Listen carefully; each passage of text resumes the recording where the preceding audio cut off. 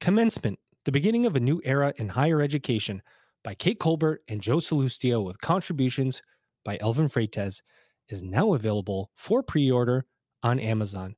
Get your Kindle edition or your softbound book. It's going to be amazing.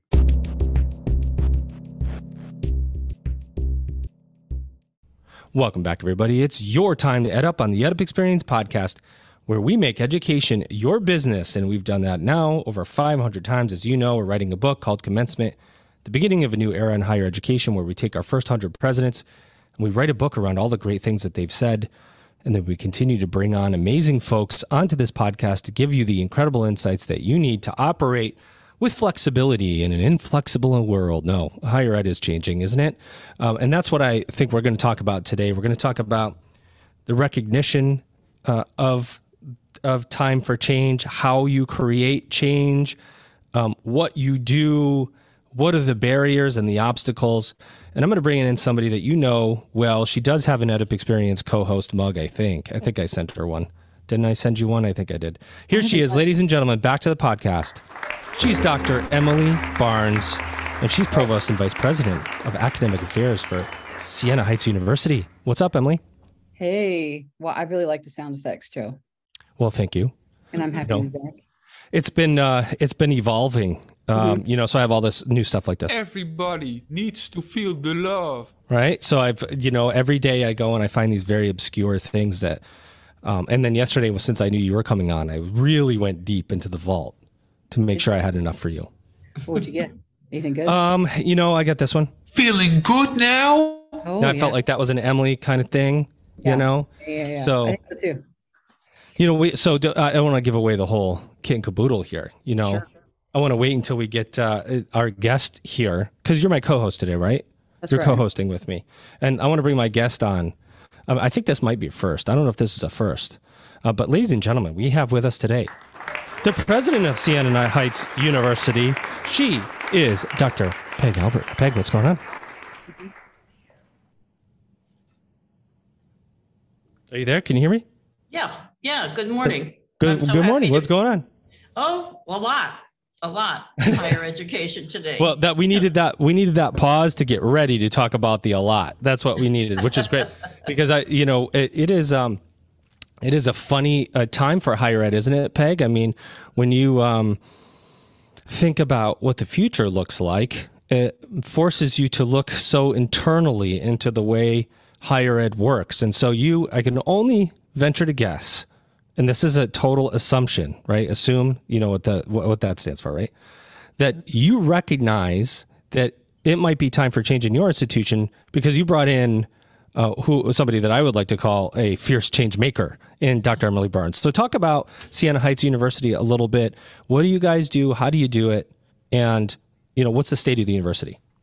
Well, first of all, the most important thing to us is our mission, and uh, um, it's amazing that so many of our students can recite our mission. When mm. uh, we were here up for accreditation a few years ago, um, the accreditor said, "We can't believe that your students know the mission." You know, amazing faculty and staff. So um, that's where we build all of our decision making around our flexibility, our uh, willingness to change, because we know we have to be relevant uh, to our students and we know that we have to prepare them to go out into a world that's going to be ever changing mm. ever changing and so students need to be flexible adaptable um, be able to uh, trans uh, uh you know to be able to use their skills in many many different uh, settings and to transfer those skills very easily. So higher education is uh, into uh, a lot of change these days because if you don't change right now, you're going to die. Mm. Change or die. Yep. So you talk, so one of the things you hit on that I think is a critical topic is relevance. Mm-hmm. You know, higher education being uh, relevant, or degrees relevant, or non uh, uh non credit certificates relevant is online education relevant? Is hybrid uh, education relevant? When you work through the idea of relevance, what what do you see? How do you how do you drill down into relevance um, and, and prepare your institution for the future? Yeah, uh, relevance, um, relevance cha- is, is change itself in a lot of ways Mhm. because relevance, uh, is what is needed at the time. Um, when a student is particularly here at a certain point in time. St- When I first came here, uh, six- sixteen years ago to Siena, um, students needed a certain thing. But now that thing is different. And if we don't change, uh, we're not living our mission well by helping our students to become competent, purposeful, and ethical. So I, I think that um, you have to look at sort of the signs of the times. Make sure our students have basic foundations in things and in life lessons as well. But then be able to pivot so easily uh, to transfer their skills to all kinds of different areas. Mhm. Um, and not only skills, but a, a sense of um, uh, being um, analytic, you know, being able to communicate, being able to write. So many students today, you know, are you so used to texting that they don't know how to write a complete sentence, you know? Uh, and uh, yeah, I mean, that happens. And um, so um, being able to communicate and work as team members is so important. So I think relevance, uh, it takes on, of course, just by the very word, different meanings during different times. And hopefully universities are in positions to still provide foundational work, but also to be able to uh, really zero in on what's important for the students to learn today. Mhm. So you think that? Do you think that people help create relevance? And I, you know, because you, you brought in Emily, um, I, I would assume not for for um, for no reason, right? You brought her in for a particular reason. I, I find my my personal feeling is that that people help create relevance because they look at things differently. They, you know, uh, something that you know the seven worst words in business, or we've always done it that way. Mhm. Um, and anytime you enter an institution or a new new job, or somebody goes, "We this is just what we do. We've always done it that way," and you go, "No." that, Joe. Yeah, Emily, you don't say that. what do Um, you mean? People um, yeah, yeah. Whew. Uh, but but uh, yeah, when you hear that, you just go, "Oh, shocking!" So you so you bring in people that can create that change. How's uh how's the transition been so far for you as you've uh, moved this university forward and bringing in new talent? Are you talking to me or? yeah, you Emily? and that. Yeah, because I can't ask Emily about Emily. She's going to tell me she's doing a great job, which I already know. But you know, it's good to have new, a new set of eyes and a, a new uh, perspective on things now and then, you know, and so uh, when we brought Emily in and then a new dean at the same time, first of all, they complemented each other very well. Um, and secondly, they both have the vision that we need right now in higher education as far as academics go. So um, um, Emily's not a cha- uh, afraid of change, um, and she encourages change. And um, I think that uh, we made made a good choice. And uh, um, so, I, you know, uh, sure, Emily has to learn the institution and the culture a little bit more yet, but but that will come in time. That that's just something that I had to do when I got here. Everybody has to do when they get it to a new place. But I have a lot of faith in our future because I think she's able to um, help the faculty see that change isn't a bad thing, it's a good thing. Um, and it better serves our students uh, than um, having your feet stuck in cement sometimes where uh, you can't move and do the kinds of things that you need to do. Emily, over to you because I know that um, I'm sure when you stepped in there and you said, "All right, we got to take a look at how we change things," you got this first, right? You know, and then you have to move by that. You got to move by that moment. So absolutely, and I would say that you know coming into um, Siena Heights has been a uh, a, a great adventure um, so far. It's it's fun to learn a new place and to get to know new people. Um, but I think what drew me here really was that receptiveness and openness to um, to making the transformation to what higher ed needs to be today. Um, the culture, uh, it's a, it's a good culture. The mission really is, she's right about that. Everyone does greatly support the mission and that was part of what brought me in as well. Um, also, I think that, you know, looking at, um, you know, Sister Peg, uh, Dr. Peg, um, you know, and then the u- unique elements of this institution. What a what a wonderful way to continue to sculpt, you know, my experiences as well, um, and and how I can, of course, be in service the institution. I love it. Um, lots of change, but I think ultimately, you know, when I interviewed here, you know, it was time to be bold again. Um, oh because- yeah. yeah, exactly. And I think that um, we all know that I love small independent institutions. Um, I think that they're a great resource because not all students are going to go to bigger schools um, and they need to have a place to go. And I want to make sure this one is around for much, much longer um, so that those students have that opportunity. So I'm happy to be here. So, what does it look like, Emily, as you step into a new role? Talk about, you know, um, your transition in. You know, what what how do you survey the landscape of Siena Heights University and say, you know what, the, here's some uh, things that we can do that make a big difference right away. Here are the bigger things that we need to change over time, and we need to get people along with us, right? Because there is this bringing people along part of change management, but there are always quick wins when you just go, oh, I don't know why we, we could just change this and do this this way or do that that way and it can make a difference for the students. Can you talk about your your insertion as it were mm-hmm. a little mm-hmm. bit and how you and peg have worked together to identify what needs to change? Yeah, well, I think I'll I'll carry on with what she said first, which was, you know, relevance is about taking in the times of higher education. And for me, it's we we know that higher ed is a consumer driven model at this point in time. Um, so I think it's not resisting that is number one. So you can see all the opportunities that's available um, versus, well, this is what's in place, so we can't do X, right? Or we can't do Z. And um, so keeping that openness is critical. Um, I will say that, you know, looking at Siena Heights, there's the basics, you know, look at enrollment, look at the community, look at the market, look at the um, programs that are being offered and how those align with the overall market, the saturation of the market, what other institutions are offering, and what we really do best.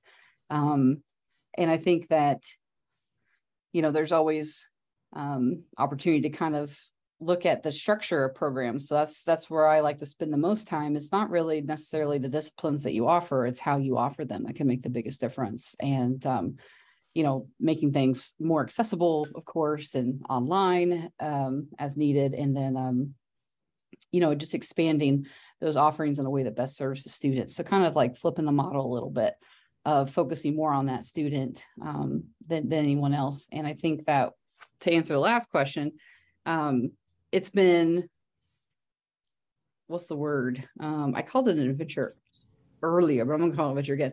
It's um, one, I love the opportunity to learn from Peg. You know, I think that um, for me, you know, coming in at my stage of career, it's it's been one of those uh, moments for for influence in a very positive way.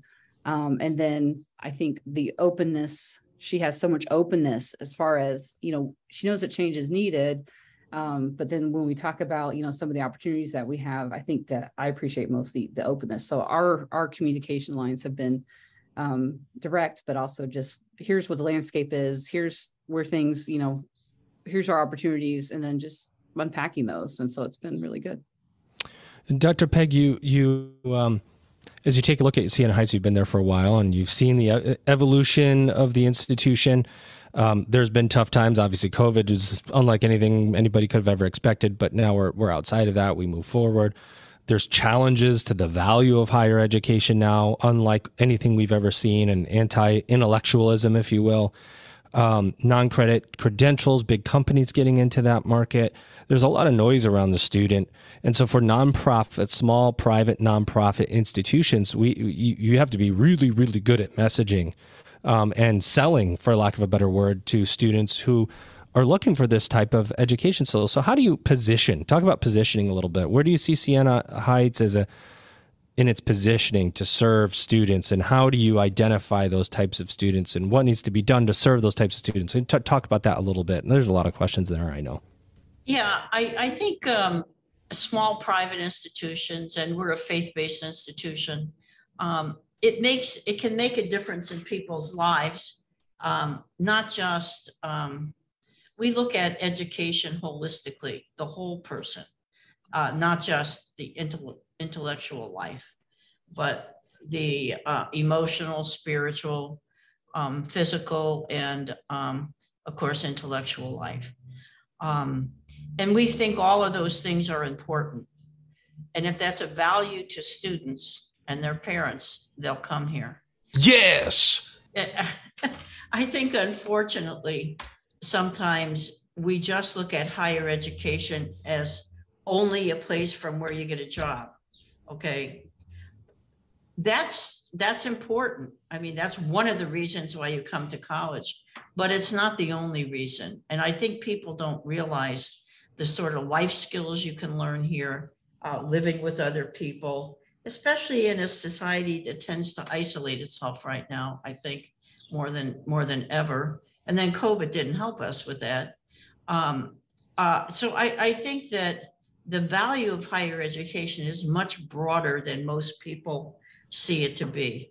And um, uh, when, you when you look back on your own college days, or uh, and I know that was a million years ago for me, so you know, uh, but uh, it it's um, it's changed a lot, but a lot of those same basic needs are there. Mhm. People want to be belong to a community. They want to be able to express themselves. They want to be able to develop themselves, and they may not even realize what they're doing at the time. Uh, but particularly with our traditional undergraduate students. Uh, but I, I think that in in in uh, with some uh, thoughtful reflection as they graduate and, and the years go on, when our alumni came come back, it's amazing what they say they experienced here with uh, some hindsight. And uh, so I think that um, people have to open up their minds and hearts to what higher education really is. It's not just go to college and get a degree, although I, I know that's extremely important and, and we meet those needs as well. But we do so in an atmosphere where the whole student can develop and um, where there's more of a personal care for people because we're small enough to do that.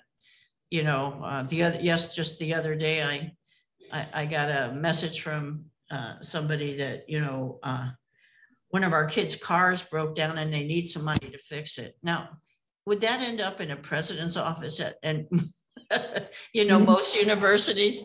But that was on my desk, you know, and, um, uh, and we'll do everything we can to help that student, you know. Um, that personal touch, which is so important in today's world.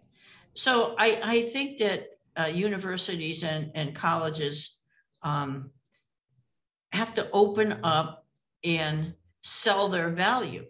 You know, uh, that's a value in our world today. But there's a lot of competition out there, particularly in the Midwest and the East, for the same student. And so, um, uh, with money tight these days, a lot of people look for, you know, where can I get the best cost? Mhm. But you, you know, for a few dollars more or a few dollars less sometimes, you can get a much better education, a holistic education at another institution. And Siena is one of those institutions. Commencement, the beginning of a new era in higher education by Kate Colbert and Joe Sallustio with contributions by Elvin Freytes is now available for pre-order on Amazon. Get your Kindle edition or your softbound book. It's going to be Amazing. I love it. I love that explanation of higher ed, and its value. I, I will say that uh, on top of that, Emily, and you know this, there is a, a trend towards online, more online. Whether it's a po- post pandemic consequence, I don't think so. I think it just got there faster, right? There was an article that came out, I think this week or last week, saying that even the traditional undergraduate student that would normally attend a residential campuses is exploring online more often. And so I know Lindenwood, which of course we're in the Midwest, right around the same area as you guys are here in St. Charles, Missouri. We're in within the same, let's say, stratosphere, if you will. We're seeing the same thing. The students are just trending more towards online. Now we have about seven thousand students or a mid-sized institution, but we see that fluctuation of just more students going. Do you have more online? Do you have more online? what does that look like for Siena Heights University in terms of online offerings, the future of online, Emily, as you see it?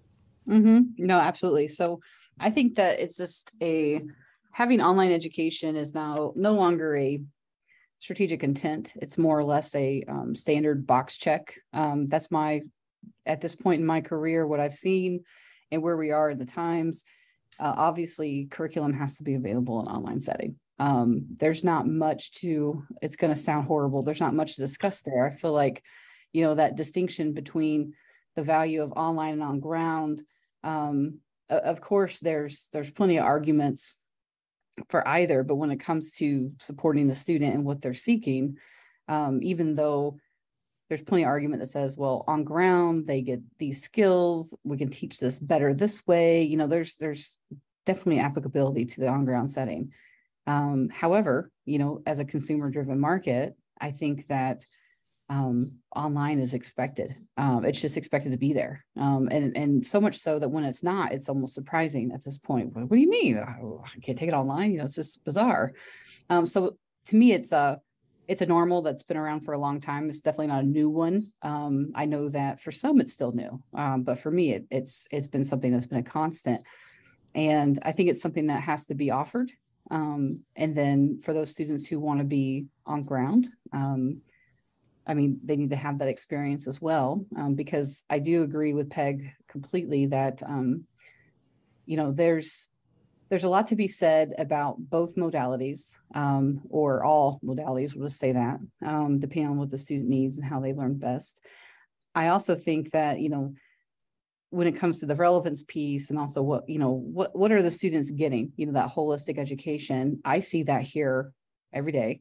Um, so much so that you know what's you know, how do we, as a liberal arts institution as well, you know, how do we emphasize the skill sets? You know, how do we emphasize the the takeaways of a liberal arts education when that's on the cutting block so many times and it shouldn't be. Um, liberal arts education to me is the secret sauce. Okay. You know, if you want a person who has a flexible mind, you know, that's flexible cognition, you're going to get it through liberal arts because it teaches you to do that that self-reflection. You know i will say that she used what's the word? Uh, self-reflection you know we we use the word contemplate a lot here um, because uh, that's general practice but that's critical thinking um, that's creative thinking that's across the board you know these simple things. Last week i had a conversation with somebody regarding um, the value of visual and performing arts. You know you might say well there's there's not a job if you go to school for theater and I'm like, oh, indeed, there is, because what does a student grow? What do they develop being in visual and performing arts? Um, what type of confidence, speaking skills, communication skills, working on the fly, being able to shift and pivot and adapt? Do they learn from being on a stage, right, in front of a room full of people? Things that many graduates cannot stomach for any any time at all. You know, speaking in public or um, being able to present their case or their or um, make that argument. So I think that obviously there's there's a ton of skills um, but the holistic piece is also caring for the individual like they're one of your own. Um, you know how best are we serving? And that can be done online hybrid high flex. That can be done um, remote. That can be you, you name it whatever term you want whatever ones you like it can be done in all those settings. And i think that um, for us providing those opportunities are going to be key. Um, and then also looking at how how are we able to instill those skills um, where we've once relied on on on ground or, or in person connection how do we train? How do we um, improve? How do we modify how we do what we do so that it can be done th- through distance and still get the same you know get a good result from the education experience? And i think that that's an evolution that has to occur on every every inch of the institution as well in, in the hearts and minds of the people who are who are teaching um, which is a which is a good thing. Um, you know, faculty have amazing skill sets um, with their abilities to connect their discipline to their students. So, regardless of the mechanism, um, that can be done. Uh, one of my favorite quotes, I'll say this from a professor I interacted with long ago at a different institution. It was a culinary school. And he said that a good chef can cook a chicken breast on a piece of tinfoil if that's all they have. And I beautiful. Yeah. So to me, you know, professors, it's just the mechanism. So we can't focus on the mechanisms and we can't focus on the devices. We focus on what is it that we're trying to do for our students and however we get there is how we get there Yeah, it's a Dr. Peg. It's a interesting um, dichotomy because you just look at, um, you know, I, t- I tell here at Lindenwood, we're going through a lot of the same kind of discussions about what the future is and online and on ground because we have a huge on ground presence as well. And um, I always say, like, do we want to be in the game? Right. If you want to be in the game, you have to have all the players. If you don't have the players, you can't compete. And in a world that you, back to your point, that is much more competitive for a student, you have to have the players, and the players are on ground or hybrid or online or modalities and programs, and you have these players. And if you don't have all the players, you're not going to be able to capture. You're not going to win the game. You're not going to be able to compete. And as higher ed uh, becomes a more commodified marketplace, as it were, because the student can go, you know, hey, look, uh, Siena Heights doesn't have this online. I'm just going to go over here and get this online from this other institution. See you later. It's not like, and I say this all the time too, it's not like we capture that student and they go, I want to come here so badly. And that might be the case for some, especially for on ground residential. But for students looking online, a lot of it becomes a, a, a marketplace, like an Amazon marketplace. So they go, what about this one? What about this one? So capturing that student is much harder if you don't have the players in the game.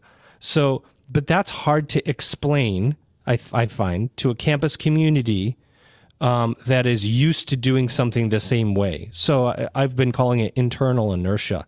You get some of that, like, uh, you know, where you say something and then everybody hears it and then you go back to the same meeting you get the same exact question that you had from the previous meeting. You give the exact same answer and it's like people heard it for the same time for the first time. And you go wait a minute i already answered that like four t- four meetings in a row. How do you get over the hump of the internal inertia? Well, I think people have to see somewhat of an urgency in order to do that, you know, um, and certainly today in higher ed, there's urgency. I mean, anything you read will talk about how higher ed needs to change to meet the needs of the student, the present and the future. Um, for example, we started online education a long time ago with adult students particularly. And for the last eight years, we've been ranked number one in Michigan for online education. Wow. Yeah, and uh, and ranked very high in student engagement because see, students' needs don't change just because they're online. Uh, and so you have to be able to create a sense of community online. yes And, and that's what happens when people know how to engage students online. There is a sense of community. Um, and, uh, and it's wonderful to see when some of those online students come from graduation and are able to meet some of the professors they had in person uh, for the first time. Um, my nephew went here online. And when he came, he said to me, you know, I want to meet so and so and I want to meet so and so. They were my favorite teachers. And um, uh, it was it was like a reunion almost, you know, and um, so you still have to create those bonds and relationships even when you're online because people learn better when that happens. Uh, um, if there's a if there's a healthy sense of a relationship there, and I, I think that we can do that. And Emily is going to be, um, you know, setting the bar for the faculty as to uh, what level of skills they have to have in order to to uh, re, you know, remain here at Siena to teach. Um, and they're going to have to be flexible, online, on ground, hybrid, whatever the students' needs are. And so uh, um, faculty are called to do much more now, you know. Mhm. Um, uh, but students are called to do much more too. We're all called to do much more. Um, we also have to look at alternative ways to educate people. Um, we have partnered with Core Education, and because certificates and badges are so uh, important today, and um, uh, uh, they do the marketing for us. But you know, we'll be we'll be uh, teaching individual students um, online and also groups of students online through, uh, um, you know, when, I- when they go and, and market our, our programs to different companies, you know. uh, So so it, it's looking at different ways to do things to get at different populations of people who need to either be trained or retrained or whatever in order to meet their uh, the goals that they they have in their lives for themselves, be they career or just personal um, uh, improvement in some way or another. Um, and we have to do that with a sense of community because uh, isolation is not good for anybody. Yeah, that's a really good point, right? The the uh, the stronger and more robust the community, the better the retention, the better the outcomes. I mean, that is an important part, whether you're online or on ground. That's exactly um, right. And yes. you need an internal community to make the external communities happen, and that's what coalition building is about, all about, and change management is all about. I, I do, I do b- uh, believe, and I, of course, I have worked in higher ed for like 20 years, but I have to believe that higher ed is very difficult at times to change. It is. It's because of the regulations. Yeah, because of tradition, hundreds and hundreds and hundreds of years. I and I, one of the things I've always said is that we we have to be higher ed has to be as fast as the technology company, because the technology company is redefining what education looks like. And so if we're not that fast, we're going to get left behind. And so, Emily, how do you how do you bring those concepts together of speed, of because speed is a critical element I find that's mm-hmm. lacking. Urgency, you said it, Peg. You said urgency. This urgency of we got to do this right now. We can't go through the what gives me the hot sweats is the word committee. Anytime I hear the word committee, I immediately think slow.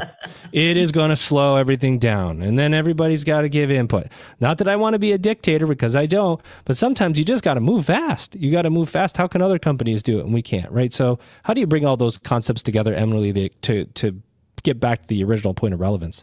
Yeah, okay, I like that. So, just jotting down a few things here. Uh, you know, first, I think do it fast, down, do it speedy, write write down fast. Yeah, uh, I think it comes down to the people. To be honest with you, um, you know, I think that um, higher ed needs people with a servant's heart and a servant's mind, um, so that they're willing to do what it takes. You know, for the for the institution, for the student, for their experience, um, and being very outwardly focused when they do that. Um, sometimes I think, yeah, well, it's true, but I think that sometimes, and everybody I would include everybody in this statement, can be, um, you know, look internally of how this affects me versus how does this, you know, move us forward um, in a way that that's that's helpful to the institution. Um, now, to answer your question a little bit more direct, I think that it also comes down to structure. So when it when we talk about operations of a program itself, you know, I call it the quick change effect. Um, you know, but you know, segmenting overall curriculum structure to be as lean as possible and as flexible as possible. Think about like remember like those uh I, and I, am using my hands, so I apologize. I'll just start with words. So remember those uh little blocks that would make a word like cat, and one of the block was a C, and you could rotate it, and it would become a B, and it'd be like bat, and then you would turn it again, and it would be like a S, and it'd be sat, and then you could turn the I, the A, and it comes I, and you know, so those are three letters. Okay, so imagine like what yeah. so imagine like 10 of those rotating blocks on a, on a, on a, a stick or something, okay, or post or string or whatever. And curriculum has to be built to turn that fast. I so like that. By segmenting curriculum into sizable nuggets, you want to say, or blocks, I call them blocks. Um, and then you already identify which blocks can flick in and can flick out. So which ones can come off of the line? Okay, the easiest. And then which ones can turn. So you got to have ones that are removable and can be replaced. You need to have ones that can turn and have a new letter exposed. So for instance, uh, if we're talking about communications programming, and we have a high focus on using a certain really popular uh, communication software or really popular word processing software. And we're going to put in now a certificate on here's this and here's how to use it and here's how you can apply it to work. Um, if that institution goes out of business, okay, or changes its name or changes all of its settings and all of its buttons, then we know exactly what portion, what block it belongs in, how many classes are affected immediately, um, and then we're able to simply turn it because we know we got a zero right in. So having those things all identified in advance is critical to being flexible and adaptable right now. So we can turn on a dime if we design it to turn on a dime. And sometimes to start, you have to be willing to start from scratch. And that's terrifying. But sometimes you gotta you gotta redo it because we are still, I think about like how long have we been modifying the same curriculum?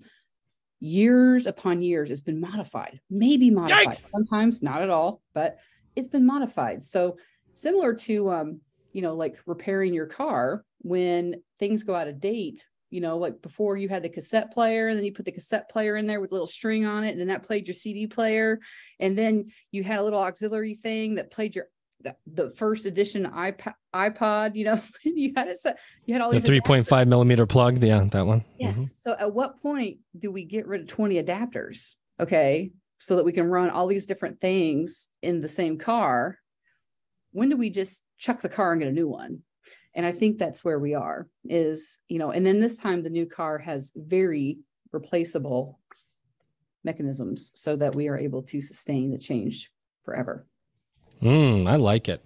Well, you guys, this has been awesome. Uh, I, you know, I, I have to tell you, I love um, conversations around change and facilitating, creating, overcoming um, uh, change barriers, and and so I want to just leave the last cou- couple of questions to you, Dr. Pegum. Number one, uh, the first one is, um, what did we not say about Siena Heights University today? Anything you'd like to say about the history, about upcoming events, or graduates, anything at all? You get to plug your university uh, a million ways from Sunday.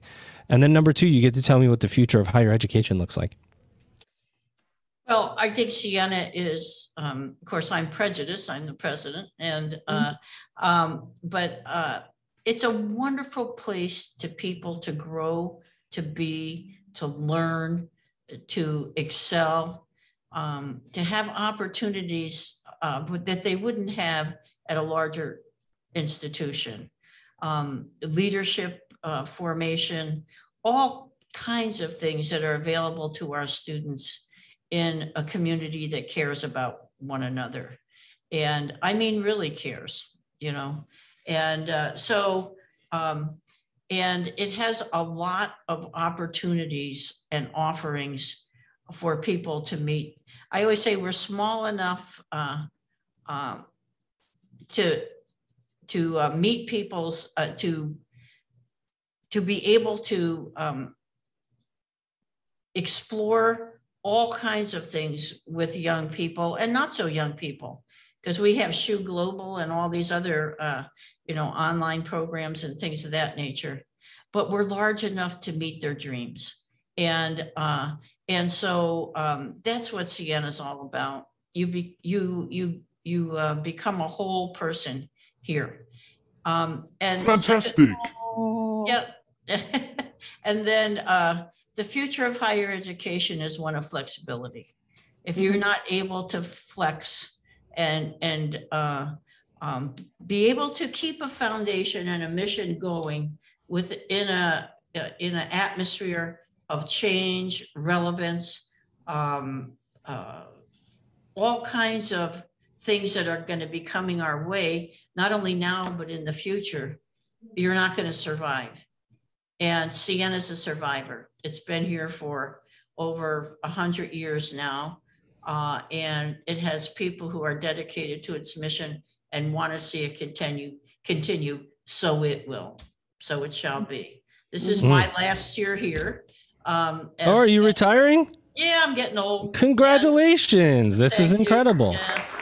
Uh, Let these uh, younger ones come up and, and, uh, you know, I, I think that there's a time when you step aside, you know it's time for new leadership, and you know it's time to give the younger uh, generation a chance. Okay, so I feel that's that time in my life right now. I'll go on and do something else um, that will be meaningful and be of service to people. Podcasting, maybe? No. Think about Who it. Who knows? Who knows? But uh, anyway, wherever God calls me to be, that's where I'll go. Mhm. So, uh, um, but I thank you for this opportunity to share about Siena and about higher education, which I love dearly.